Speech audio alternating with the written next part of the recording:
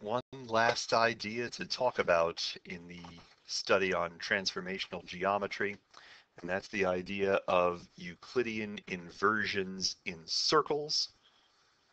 Uh, it is a very interesting idea. It's kind of out of place unless you put it in context of the Poincare model for hyperbolic geometry, which we will toward the end of this session. Here's the basic idea with an inversion.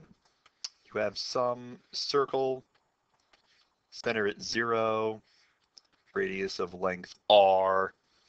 The inversion in that circle, it's an inversion centered at O of radius r, is defined in the following way.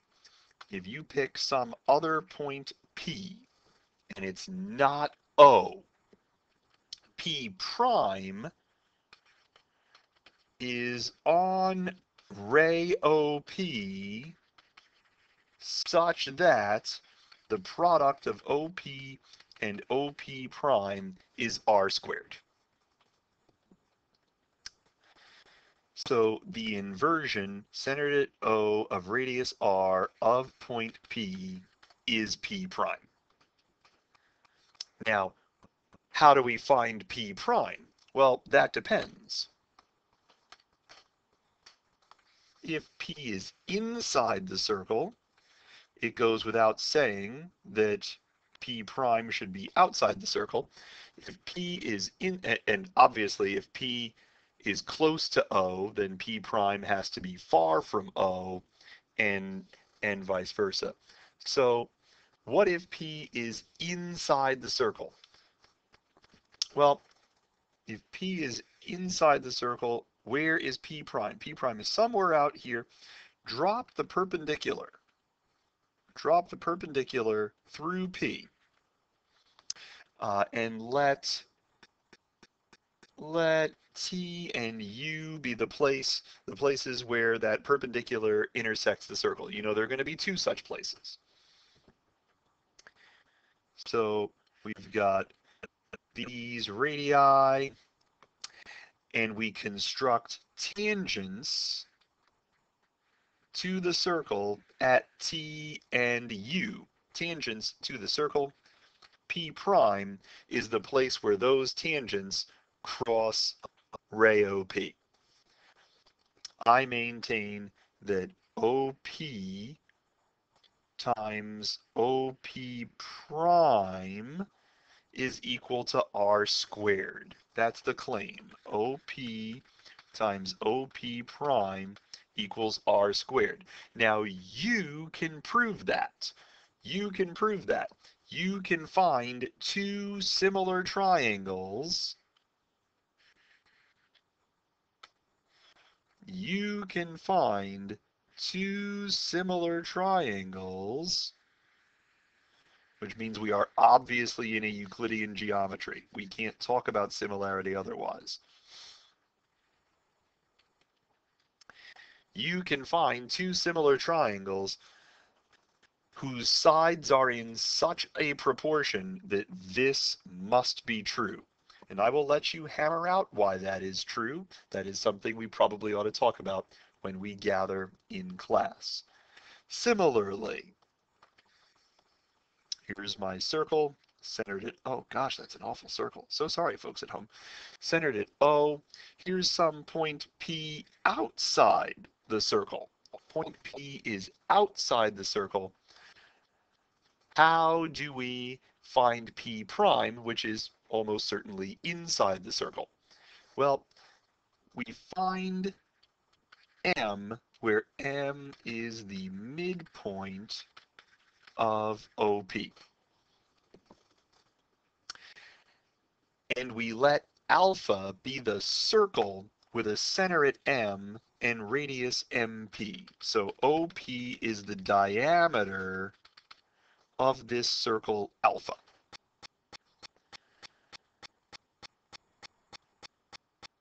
Okay, so the two intersection points are T and U. We connect them with a segment. It is the claim that P prime is that place where the segment TU intersects ray OP. Again, the claim is that, oh, I should probably have gone red and blue, red and blue. The claim is that OP times OP prime is R squared. OP times OP prime is R squared.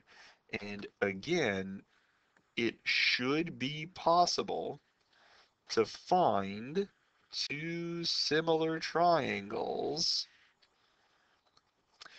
whose sides are in proportion in such a way that that is true. And that is something that you should prove when we gather in class. Some other things you should know about inversions.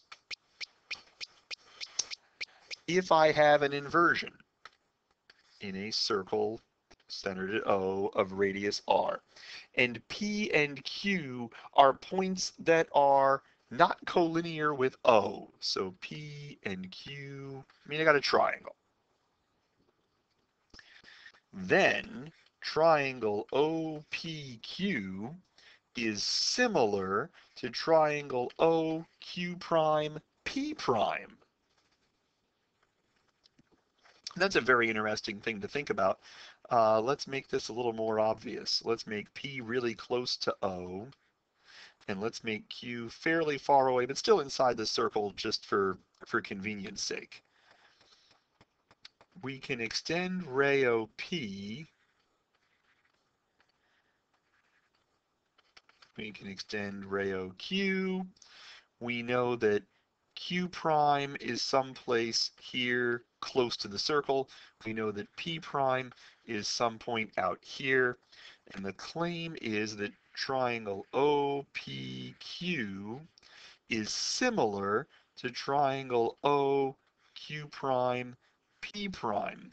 And intuitively, I suppose that's obvious, but the reality here is that OP times OP prime is equal to R squared, but so is OQ times OQ prime. So we could bring that over bring that over and say that OP is to OQ prime as OQ is to OP prime, and that is essentially saying that triangle OPQ OPQ is similar to triangle OQ prime P prime, just picking the points in order. Uh, it would appear to be that that is the case. Okay.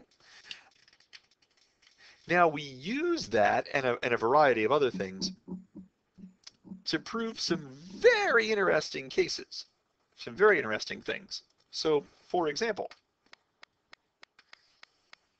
if I have an inversion centered at O, radius R, and L is some line that does not contain O, so L is just a random line the claim is that the inversion is a circle that contains O. Now we're going to be really, really careful.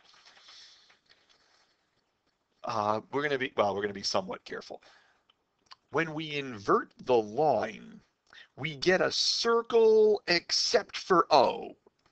So what Venema says we do is we invert the line and some point out at infinity.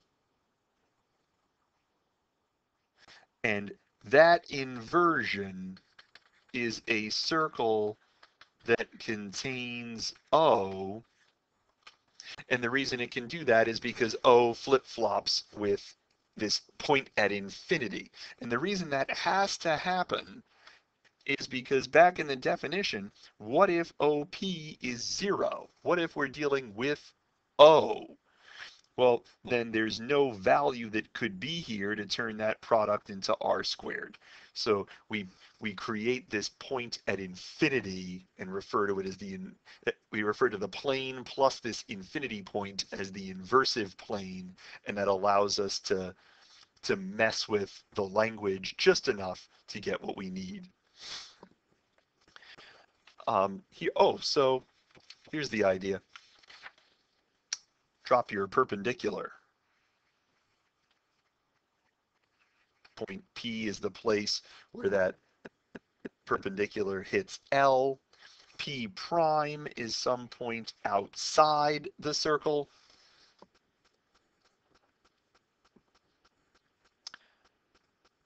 So if P point if P prime is some point outside the circle, here's the claim.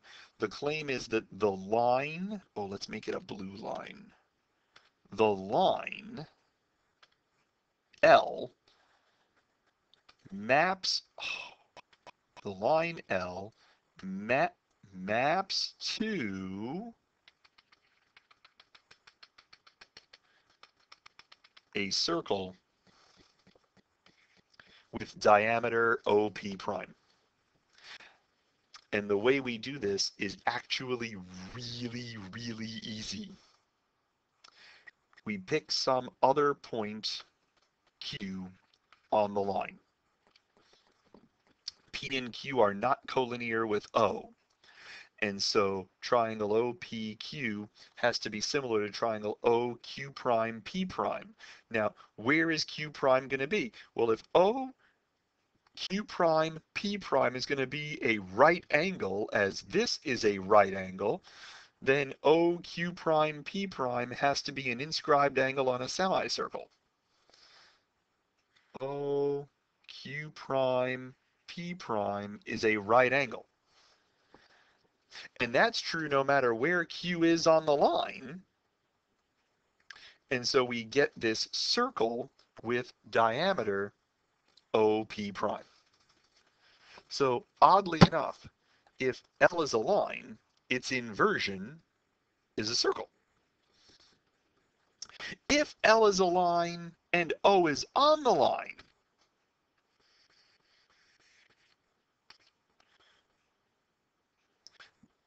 So let's see. That's color coding. So this is M. The inversion of M is a line. It, it is it is the line. Now that doesn't mean, side note, la, that does not mean that all green points are fixed points.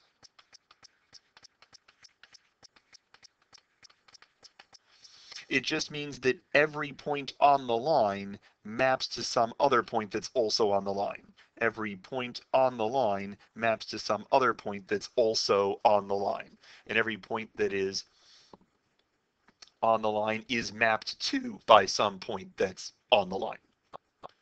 Just just saying that honestly. Okay. Uh, ooh, not yet. Couple more things. Couple of corollaries. Uh, oh, let's go back here. Because the inversion of the blue line is the red circle, the inversion of the red circle is the blue line. So if you are inverting a circle that contains O, in the circle centered at O, you get a line, uh, which almost seems basic. Almost. If you have a circle? And, the circle does not contain O, then it's, oh, I should move this up. Then its image is a circle.